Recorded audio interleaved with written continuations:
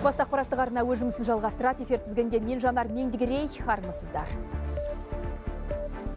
Мемлекет басшысы Қасым Жомарт Тоқаев екібастұздағы пәтерлерде және әлеуметтік нысандарда температураны тұрақтандыруды тапсырды. Бұл міндет премьер-министрдің бірінші орынбасары Роман Склярға және Павлодар облысының әкімі Асайын Байхановқа жүктелді.